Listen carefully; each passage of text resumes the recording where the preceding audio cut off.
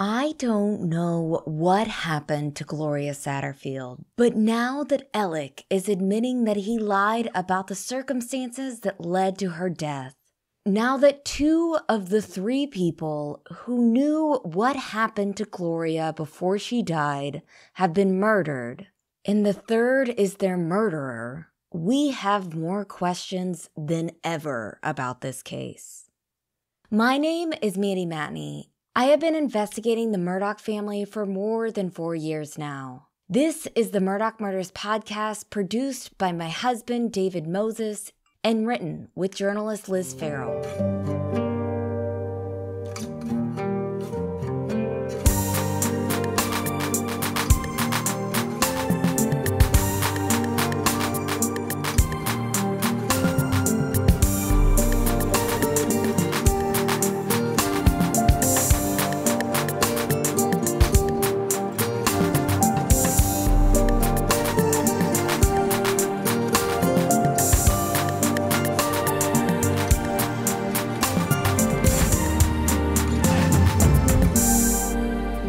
Here we are, May 3rd, 2023, on episode 91 of the Murdaugh Murders podcast. I want to start with an exciting announcement about an event that is so on point with our mission here at Luna Shark Productions. On Tuesday, May 9th, Sandy Smith and I will be speaking among several special guests at the Victims Matter rally at the State House in Columbia, South Carolina. Last year, the Victims Matter rally was first created in response to the Bowen Turner case as an effort to focus the attention surrounding the tragedy as a positive force to uplift victims and make change in South Carolina. And as we've said time and time again, our justice system too often prioritizes those who are privileged and fails victims of violent crime. And too many of our lawmakers are working for the bad guys.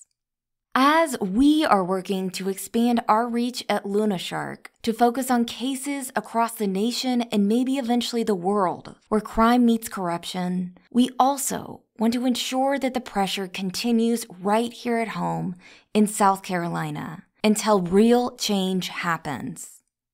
And we will continue to fight for Stephen Smith and we will be doing everything that we can to keep his story alive until his case is solved and justice is served. So join us at the State House on Tuesday at 9 a.m., and we will be streaming the rally live for MMP Premium members. And speaking of cases where the system tramples all over victims' rights, I want to talk about the Jeroid Price case for a minute. And before we get into it, I just want to say that Beth Braden, Callie Lyons, and Ali Pavlich of the Luna Shark team made an incredibly insightful graphic for our premium members to better understand the price case. Members can check it out at mmp.supercast.com. So it has been a week since the South Carolina Supreme Court ruled to void Judge Casey Manning's order in releasing convicted killer Jeroid Price 15 years early. And surprise, surprise, Price is apparently on the run and nowhere to be found. Sheriff Leon Lott, the sheriff of Richland County, where Price was convicted of murder, announced last week that the sheriff's office, aka the taxpayers, are offering a $5,000 reward for information leading to his return. The following day, Price's attorney, State Rep Todd Rutherford, held a press conference where he asked Price to turn himself in. But he didn't stop there. Among the absurd things that Rutherford said in this press conference, he actually apologized to Price, not the people of South Carolina, who he serves. Quote, I'm sorry, Mr. Price, who has done nothing but help the citizens of South Carolina, saving the lives of correctional officers, and somehow that lands him back in the South Carolina Department of Corrections, Rutherford said. Again, he said that Mr. Price has done nothing but help the citizens of South Carolina. Speaking of lawmakers having no concerns about victims whatsoever, there is a clear example for you. Rutherford knows that Price attempted to appeal his conviction multiple times and failed. He knows that in the eyes of the law, his client is a murderer, and his client's release certainly hurts the Smalls family. Rutherford also knows that the evidence he offered to back up those claims that his client was a hero to SCDC employees was not at all credible and essentially hearsay. And Rutherford, who works for us, by the way, also knows just how costly his client has been to the state of South Carolina. Taxpayers are now having to pay for the reward money to get Price back into custody taxpayers are now having to pay for all of the overtime hours and manpower in the search for Price. Taxpayers have been forced to clean up this mess that was made by elected officials. All three of these elected officials, Rutherford, Solicitor Byron Gibson, and Judge Casey Manning, failed the taxpayers when they agreed to the secret order. They failed to stop and think about the potential damage of their actions. They failed to look out for the people who pay their salaries. And now that the dust has settled and the Supreme Court has officially ruled that yes, what they did was in fact wrong, the investigation must continue. Not only do they need to find Price, but like Alec Murdaugh, Price is just another branch of a corrupt tree. The branches are just showing us that the problem exists at the roots. We're never going to fix anything until we address the roots, and that is the system itself and those in charge of it. We need to not only find out how they did this, but why they did this. What could have possibly incentivized three elected officials to care more about a murderer's early release than they do about public safety and following the law?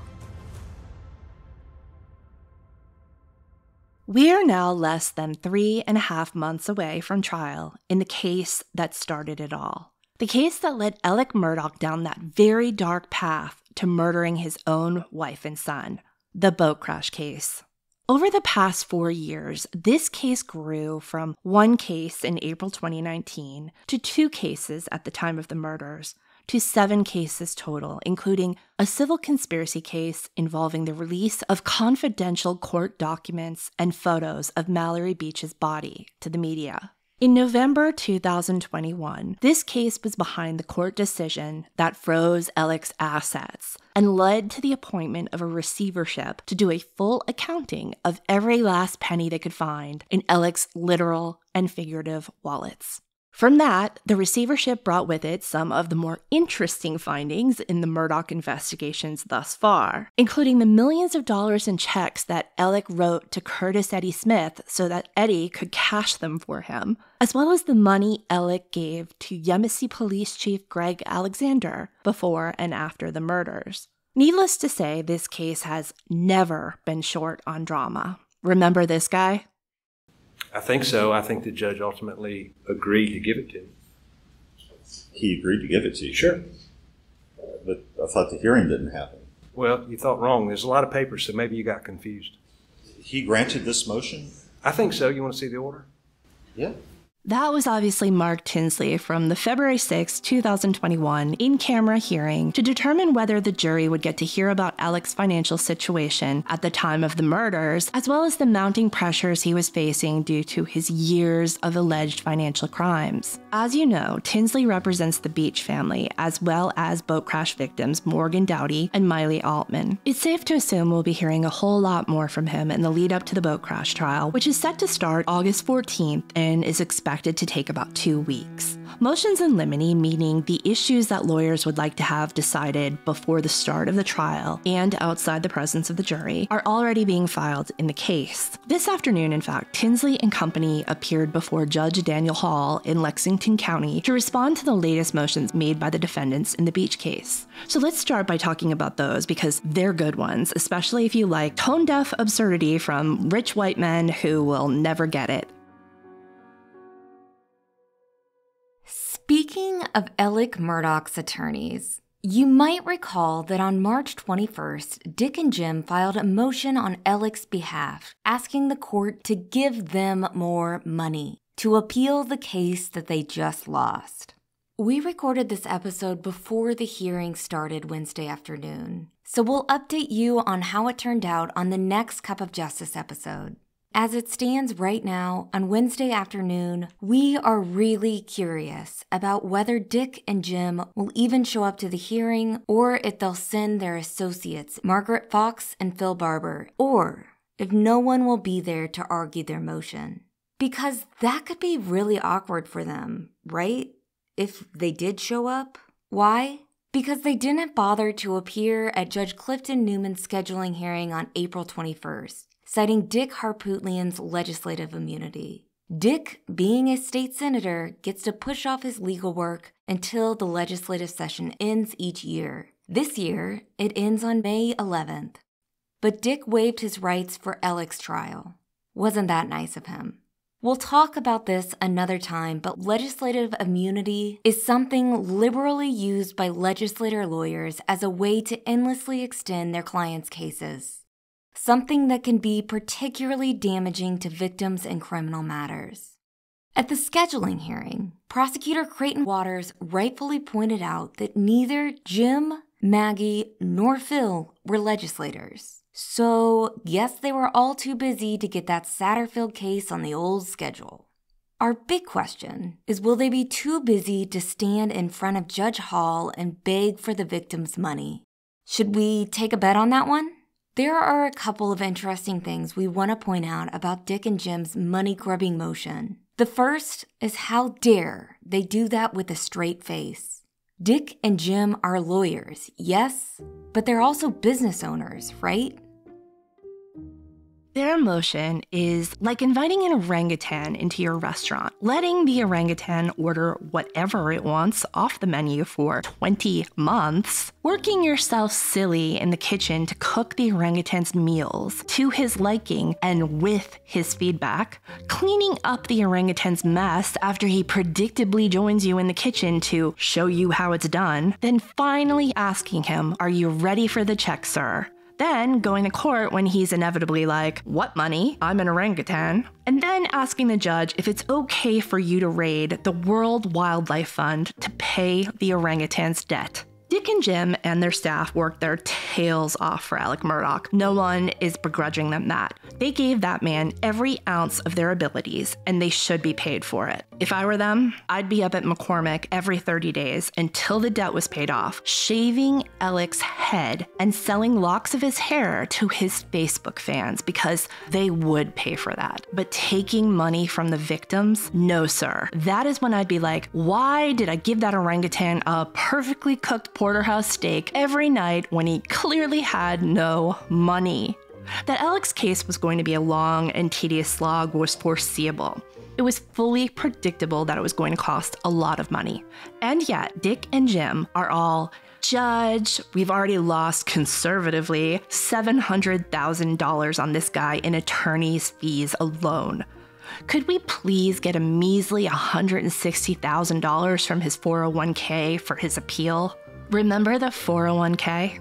Remember when Dick and Jim convinced the receivership and the court that if Alec were allowed to cash in his $2 million retirement fund, which would obviously incur penalties and taxes, then they'd only take $600,000 of that and leave the rest, which was about $425,000, for his future creditors, which includes his victims. Remember that deal? We just need this $600,000 to hire some experts, and you guys can have the rest.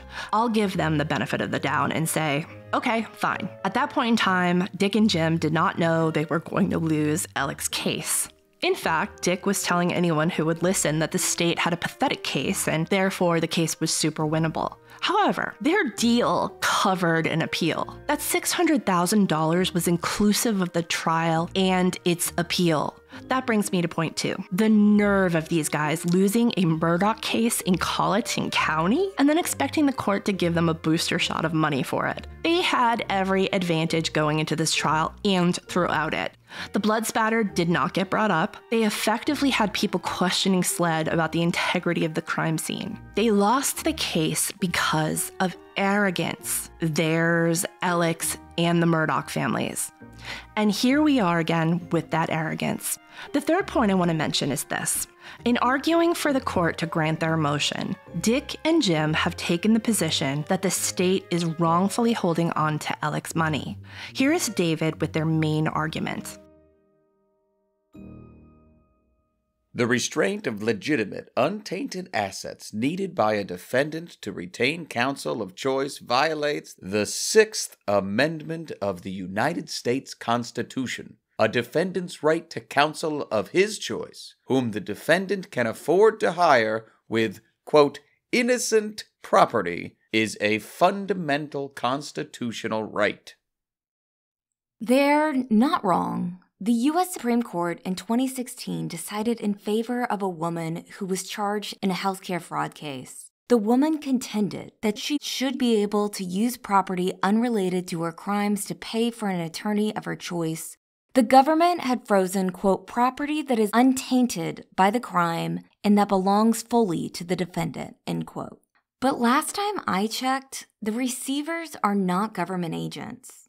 Let's go over the history real quick. Alec's 401k was not touchable, meaning the receivers couldn't consider that an asset for the victims. Alec made it touchable by asking to cash it in. In other words, he converted an untouchable asset to a touchable one, and in doing so, made a deal with the receivers that he could make that asset touchable, i.e., make it so it could go to the victims only if he could make a substantial portion to pay for experts in his murder case. And that is what he did. Here's David again, reading more of Dick and Jim's whining. Murdaugh has sufficient innocent property to pay the undersigned. These funds are legitimate, untainted funds. Furthermore, the undersigned is informed and believes that there are additional funds that have been deposited into the receiver's escrow account that do not represent the proceeds from illegal activities. Oh, really? So, A, how exactly are we determining that Alec's substantial 401k was funded with untainted money?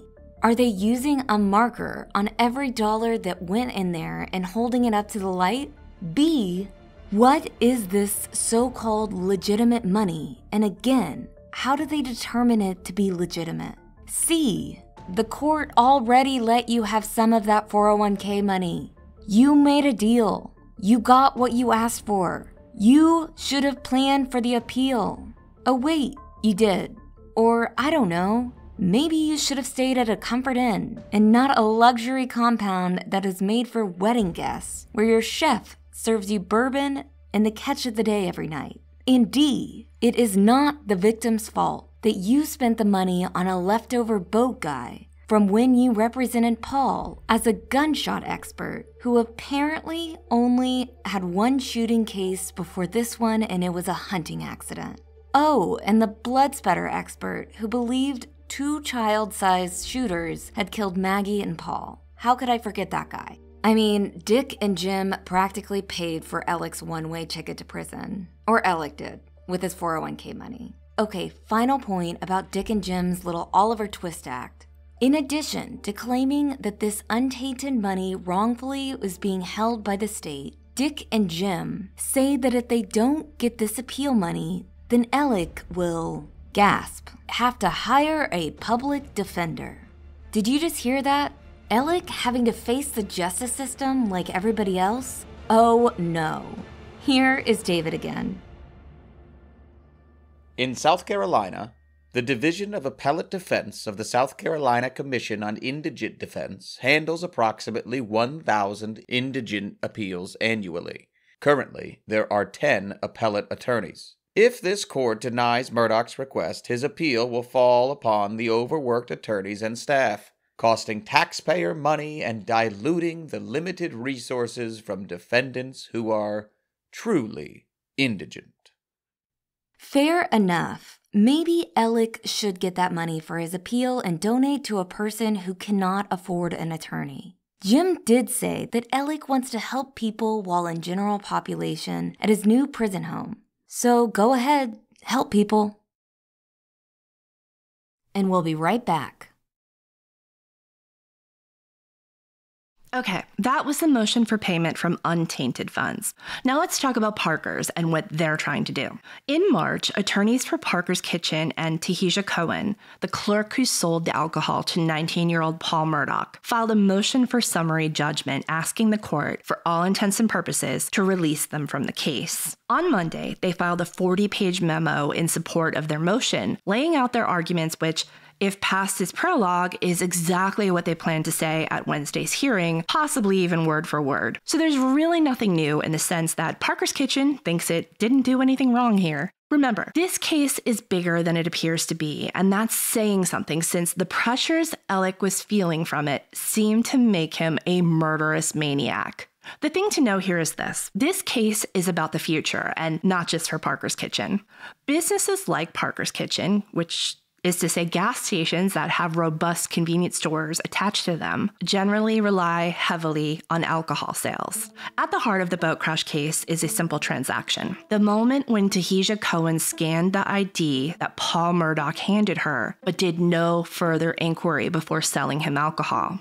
Parker's maintains that Paul tricked Tahija by giving her Buster's ID, that their cashier did not knowingly sell Paul alcohol. But in South Carolina, it doesn't matter legally whether someone knew a minor was of age before selling them alcohol.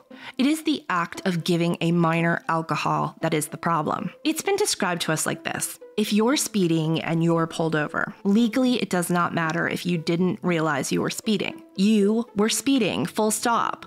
Obviously, the punishment for speeding is left to the discretion of the officer who witnessed the infraction, meaning whether or not you get that ticket. You broke the law whether or not you intended to break it. The same goes for businesses selling alcohol. If you sell to a minor, you have a problem, regardless of whatever wily coyote tricks were being played on you. This law is that simple. In South Carolina, it is unlawful for a person to sell beer, ale, porter, wine, or other similar malt or fermented beverage to a person under 21 years of age. Notice that it does not say knowingly sell. Because guess what? People under the age of 21 are sneaky.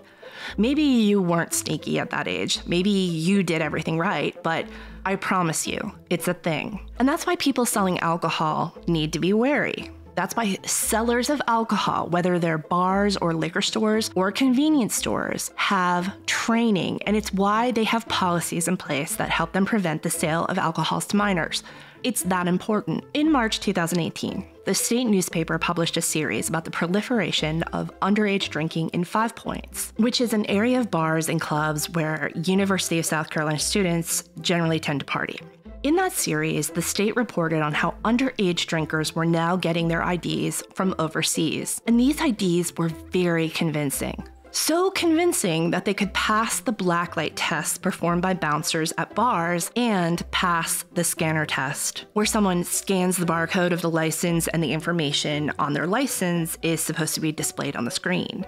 This is what Tahija Cohen did. She took Paul's ID, which was Buster's legitimate license, and she scanned it. According to surveillance footage, she did not look at the license or what came up on the scanner. She did not do anything else to mitigate the potential of this baby faced, 5 foot 7 inch guy in front of her who was lying to her to get alcohol by using his brother's license, which listed him as 6 foot 2 inches tall and more than 200 pounds.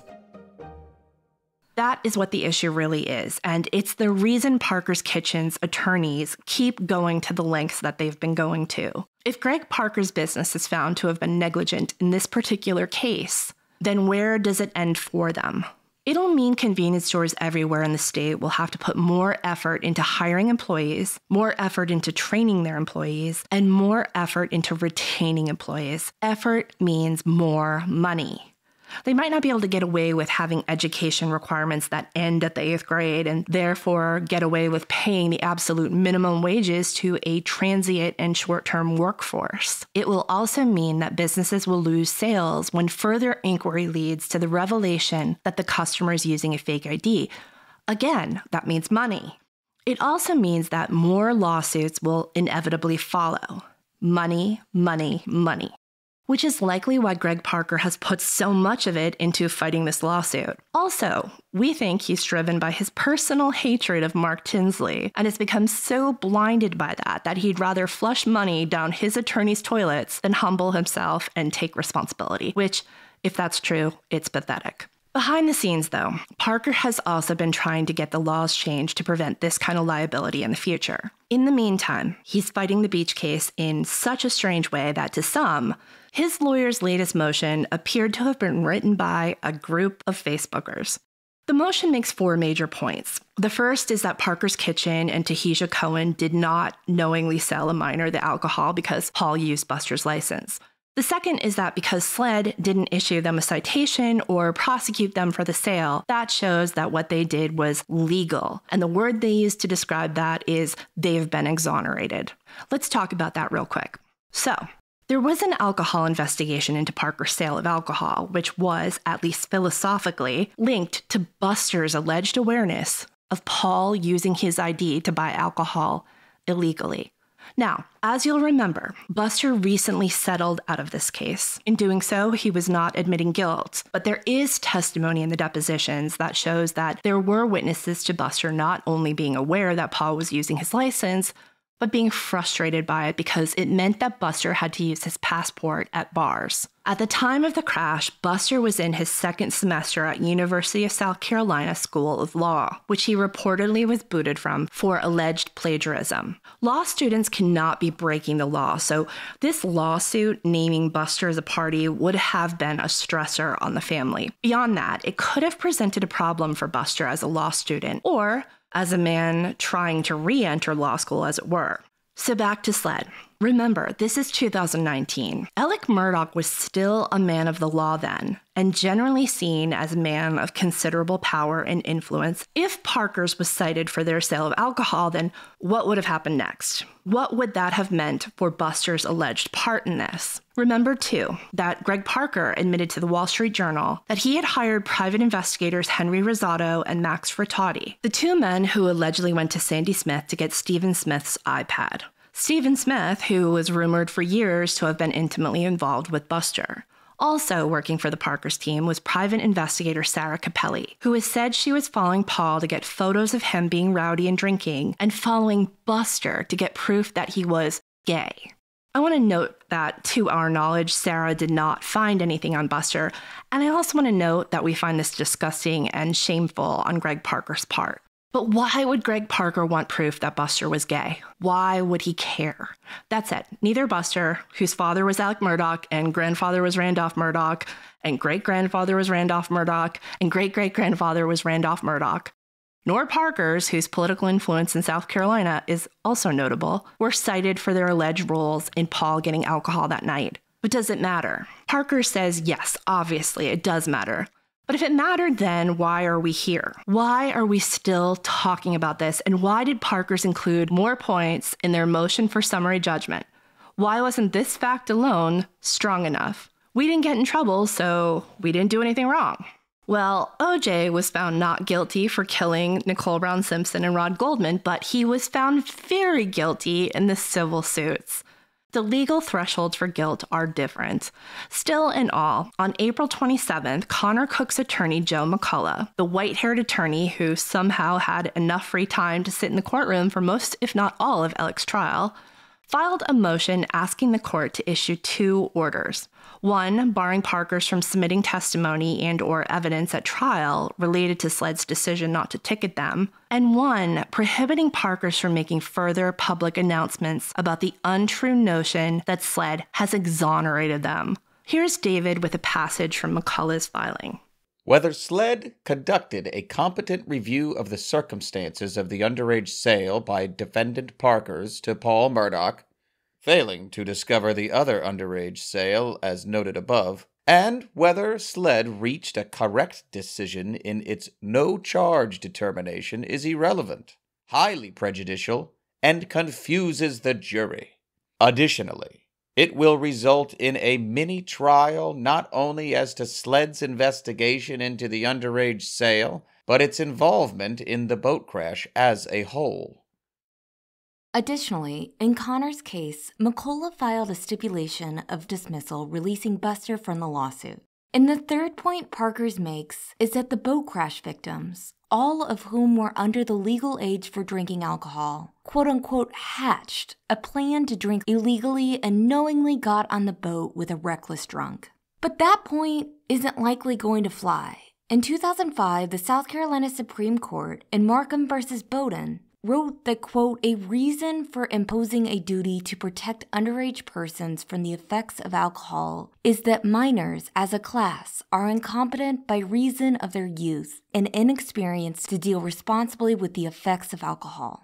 Even though someone under the age of 21 might be considered an adult in other settings and circumstances, the General Assembly of South Carolina finds them to be minor when it comes to the sale and dispensing of alcohol. So, even though Parker's attorneys probably patted themselves on the back for repeatedly referring to the boat crash passengers and Paul as adults, they simply were not in this case. The final point that Parker's made in the motion was this No other adult at the oyster roast stopped the boaters from getting on the boat, and it's not Parker's fault that these people didn't do the right thing. It's like, sure, we sold that 10 year old fireworks, but why did his parents let him go outside into their backyard, where he lit the fireworks and hurt someone? Well, because guess what? The word knowingly now actually matters. In South Carolina, again affirmed in Marcum versus Bowden, social hosts, i.e., the adults at the oyster roast, are liable if they knowingly or intentionally served or caused to be served an alcoholic beverage to a person he knows or reasonably should know is between the ages of 18 and 20. There is no liability in South Carolina for not stopping an impaired person from operating a motor vehicle. Bars and stores can't sell alcoholic beverages to someone who appears to be drunk, but stopping them from getting behind the wheel is another thing. So, like we said, it doesn't seem like there's any legal basis for any of this. It'll be interesting to see how Wednesday's hearing goes. And again, we will update you on Twitter and in the next episode of Cup of Justice.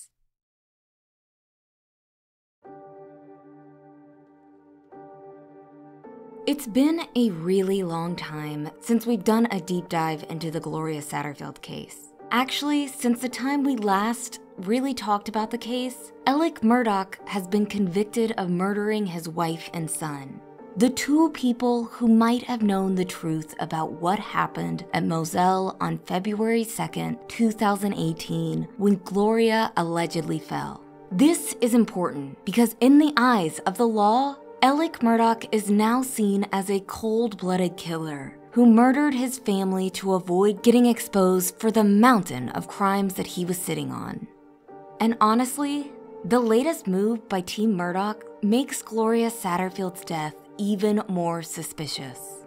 So on Monday, Alec's defense team, including Jim Griffin, Dick Harpootlian, Phil Barber, and Margaret Fox, filed a shocking but not so shocking answer in the federal lawsuit against Alec's former insurance company Nautilus for the fraud that occurred in the Satterfield case. In the motion, Alec Murdaugh is finally admitting to lying about the fall that led to Satterfield's death. Specifically, they said that he, quote, invented Miss Satterfield's purported statement that dogs caused her to fall to force his insurers to make a settlement payment.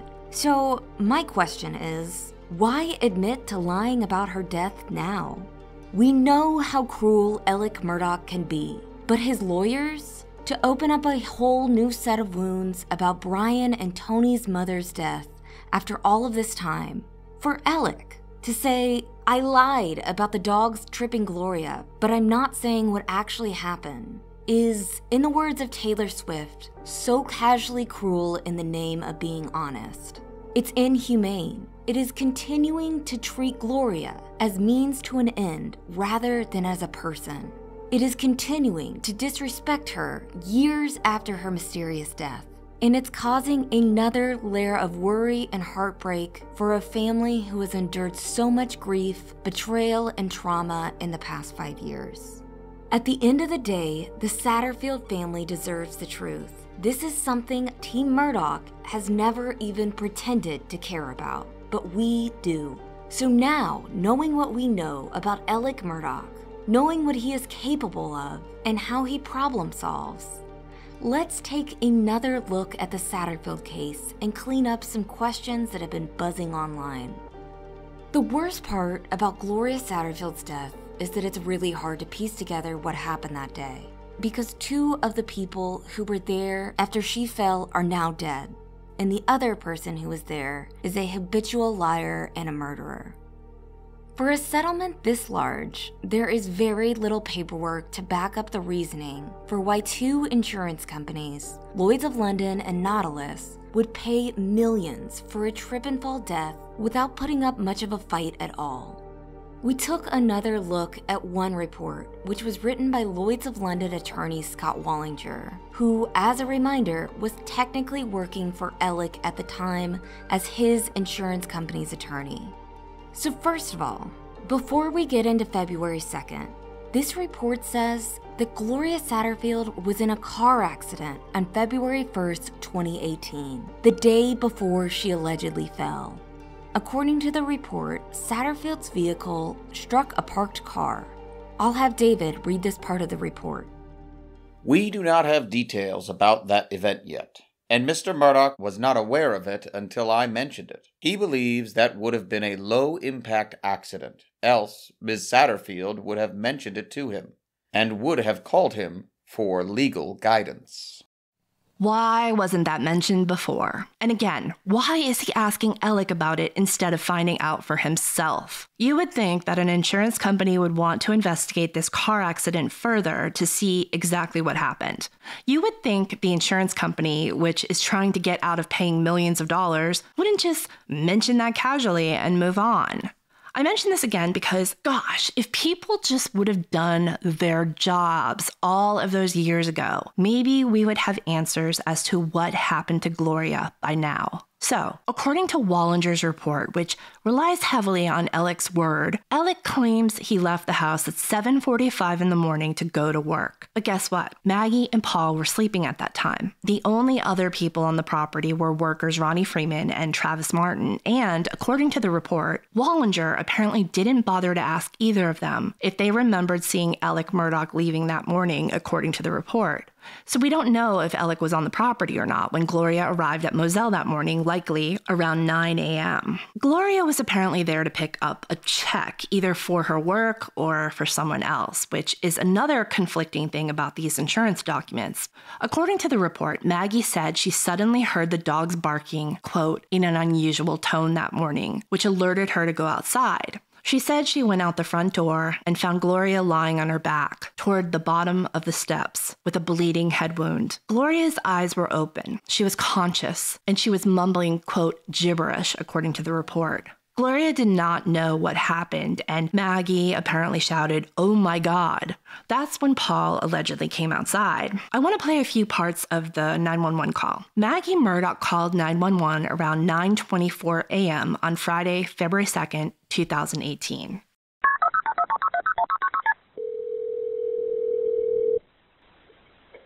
Come here. 911, where's your emergency?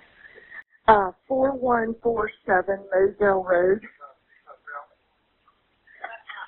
Okay, can you give me the address one more time, make sure I got it right? Yes, 4147 Moselle Road. Okay, what's going on out there? I'm sorry. What's going on out there? Uh, my housekeeper has fallen and her head is bleeding. I cannot get her up. Okay, you said she's fallen. She's bleeding from the head. Yes, Okay. How old is she? I'm not sure, like 58 maybe. Do you know if she fell from standing or not? No, no. Where'd she fall from? Uh, from the, she fell going up the steps, up the brick steps, Okay, so she outside or inside? outside. Okay. How many steps is there? Uh, eight. Okay, is she on the ground or is she up near the She's top? on the ground. She's on the ground. She's on the Is ground. she conscious? Uh, no, not really. Is she awake at all? Yes. Okay. Remember, in Maggie's interview with Wallinger, she said that Gloria's eyes were open, that she was conscious, and she was mumbling gibberish, which also matches up with the 911 call. Is she just not like responding appropriately, but she is awake? Man, she's not. No, she's not responding. Okay, I just I, I've already got them on the way. Me asking questions does not slow them down, man. Knowing if she's conscious is one of the things that the medic needs to know if she's responding at all to you. No. Okay, so she's not responsive at all. Well, I mean, she's mumbling. Okay, so she is somewhat conscious. Um, is she breathing okay? Yes. Is she bleeding from anywhere? Yes, her head. Hey, are you guys able to control the bleeding? Maggie said that no one rendered first aid before EMS arrived, which also lines up with the 911 call. And another thing, no mention of dogs in the 911 call, which isn't surprising at all. But again, why didn't the insurance companies notice this? During the 2018 call, remember, Maggie says that Gloria fell back down after she initially fell. Oh, Can- gosh. What happened? She just fell back down. Can I get off this phone so I can go down there? Can I have your name and phone number? Or are you able to bring the phone down by her? What? Are you on a cell phone where you can walk down there I'm and on a talk? cell phone. No. Okay, can you bring it with you so we can ask her some questions about what kind of pain she's having? Gloria's feet were on the second or third step from the bottom as she was lying on her back. She was bleeding from a head wound, and blood was on the brick landing area. Gloria was awake, but not making any sense. Hello? Yeah. Can Can you ask the patient what kind of pain she's having? Ma'am, she can't talk. Okay. Do you know? She's cracked her head and there's blood on the concrete and she's bleeding out of her left ear. Okay, she's bleeding out of her ear. And out of her head. She's cracked her skull. Okay. All right. The other lady said that she had tried to stand up and fell down again. No, she. I was holding her up. And Okay. She told me to turn her loose and she was trying to use her arm, but then she fell back over. In the Lloyds of London report, Alec claimed that Maggie had called him around 9:45 at work, and he said that he left work immediately and was able to get there before EMS. But there are two issues with that. The EMS report says that they arrived at Moselle at 9:41. And just doing a quick Google search, if Alec was at PMPED when he allegedly got this call, it would have taken him about 20 minutes to reach Moselle. In the meantime, the EMTs, according to the dispatcher, were coming from the Ruffin station, which is about 15 minutes away at normal speed. How was Alec able to get there before EMS? Great question. Another question might be was he already there? Given the inconsistencies in the nature of this case, we have to ask that. And also, this is Alec Murdaugh we are talking about. If we have learned anything during the murder trial, it's that he is really bad at alibis. So, why didn't the insurance company question this?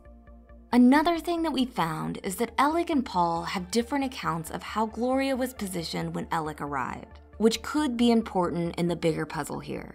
According to his interview with Wallinger, Paul said that Gloria started throwing up, and so Alec and Paul sat her up while they waited for EMS to arrive.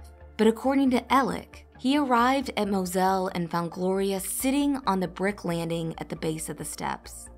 Maybe this is nothing, but remember during the 911 call when Paul said that he sat Gloria up and that's when she fell back down? Is it possible that Alec was actually there at the time that the 911 call was placed? And did anyone attempt to figure that out before handing over millions of dollars for a settlement that was based on a theory from a sketchy homeowner? And where did this dog theory come from exactly? Well, Alec, of course. Reading this report again and seeing the same phrasing used, and knowing what we know happened to Maggie and Paul, I honestly wonder if Alec told Maggie and Paul to lie to the insurance company. Why? Because this is the phrase that Wallinger wrote in two different sections of the report. He wrote, Alex told me that he had heard from one or more of Satterfield's relatives he cannot really recall was that Satterfield had reported that the dogs tripped her up. Maggie said that the Satterfield's relatives told Maggie that the dogs tripped Gloria up. So, a couple things to note here. Notice that neither of them could say which relative actually said that. Notice that Wallinger never bothered to interview any member of Gloria's family, but instead, he wrote a summary of Tony Satterfield's Facebook post. It's almost like, maybe, just maybe, Alec Murdaugh told Maggie to tell the insurance company that Gloria's family believes this is how she died as a way to apply pressure and get them to settle faster. And it worked.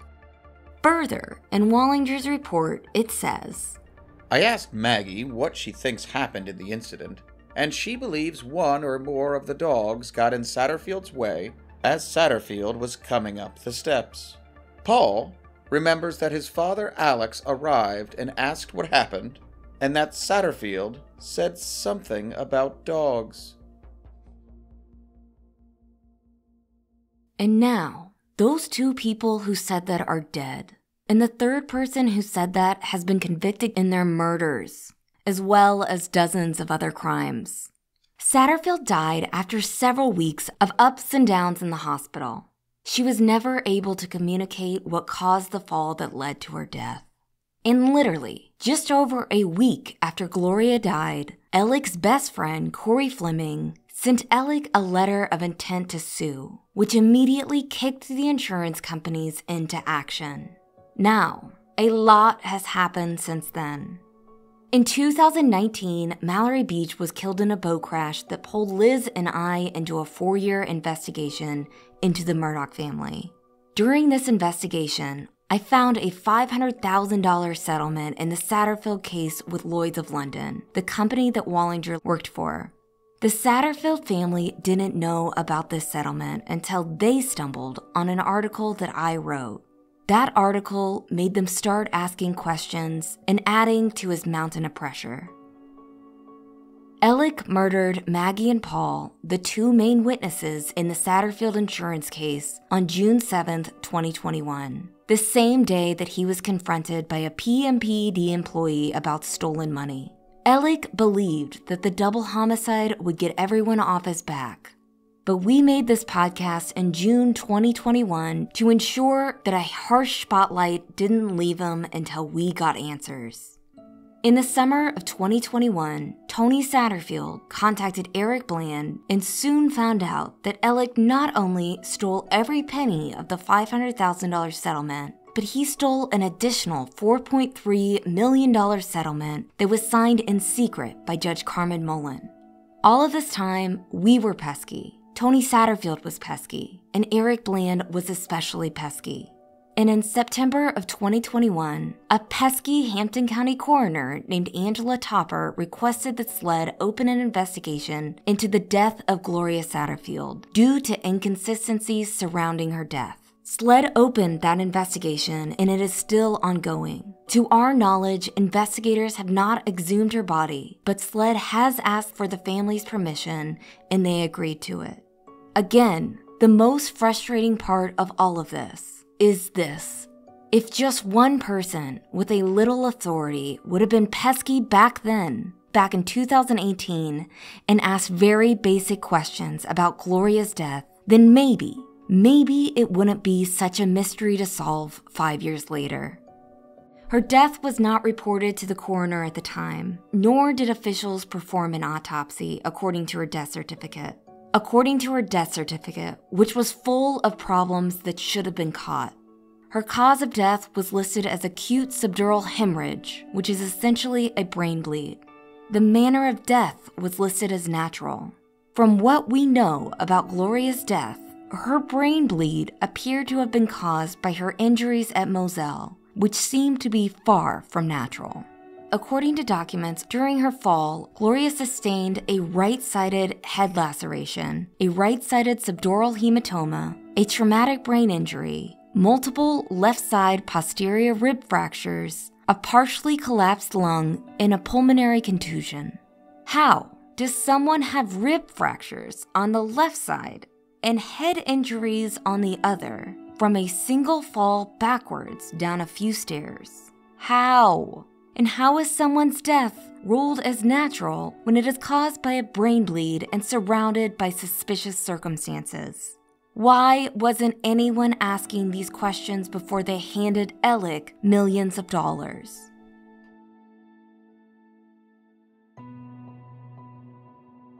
We'll be right back.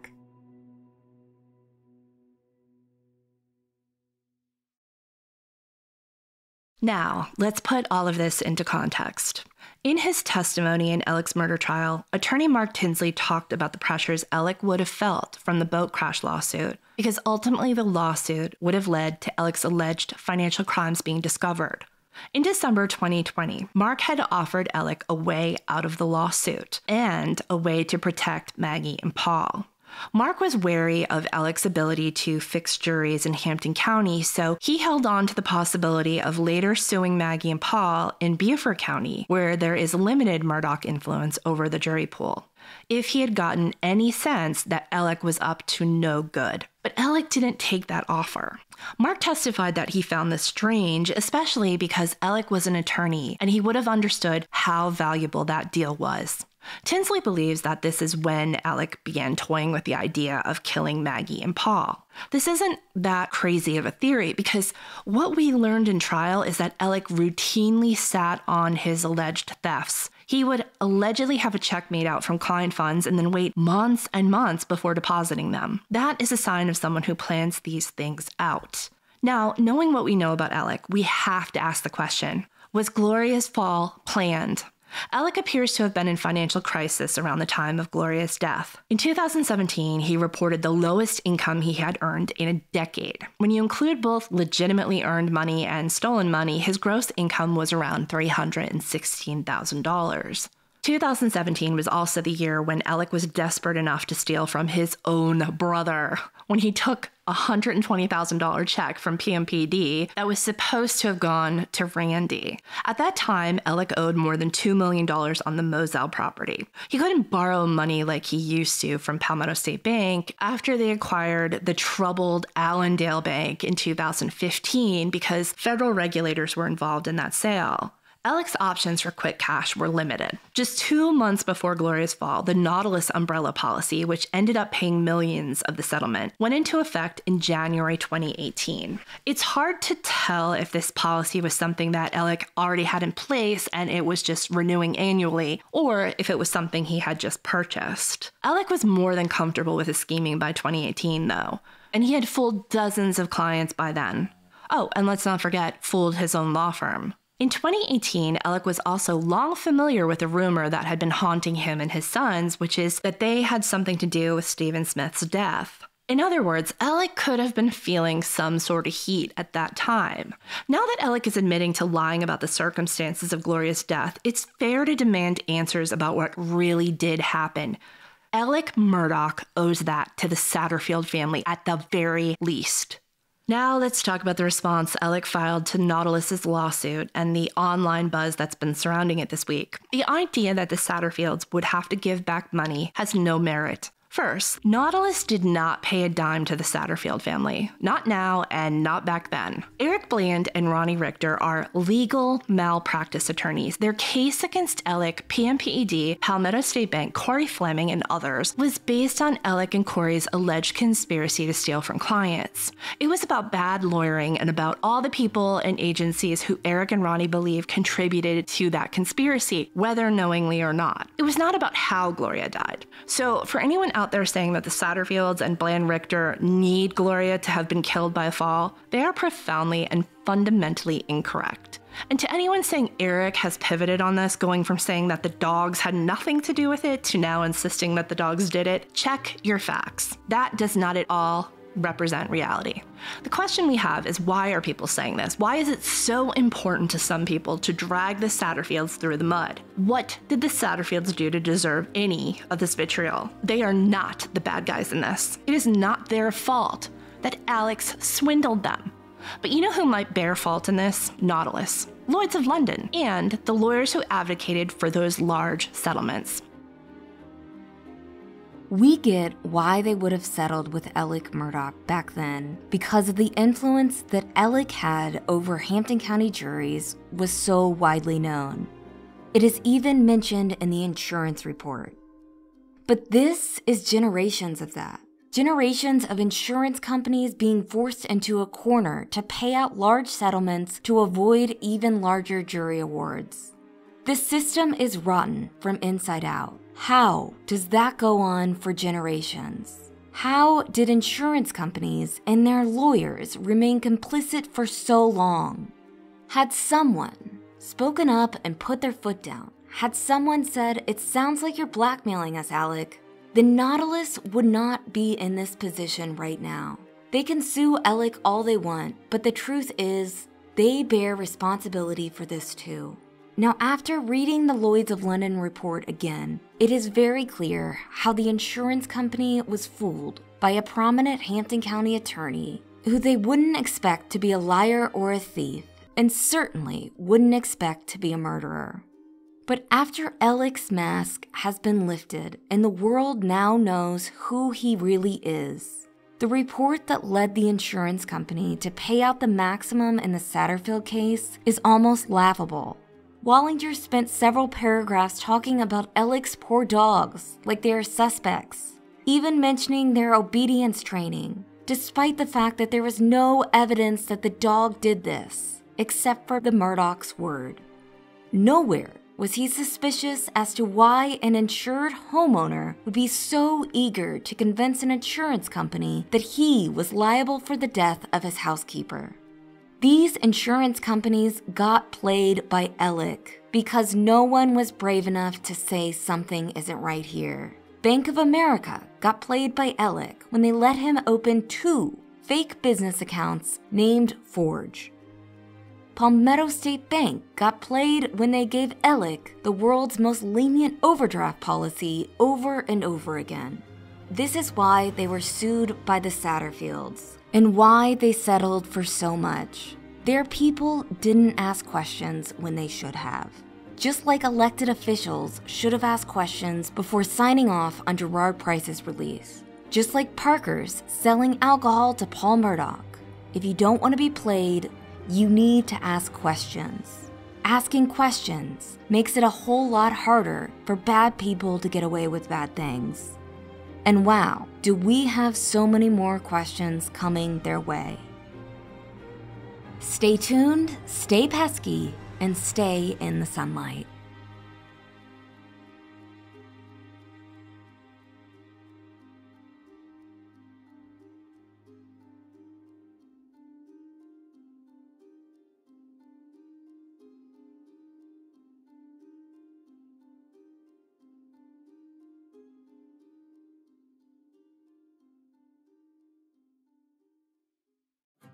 The Murdaugh Murders podcast is created and hosted by me, Mandy Matney, produced by my husband, David Moses, and Liz Farrell is our executive editor.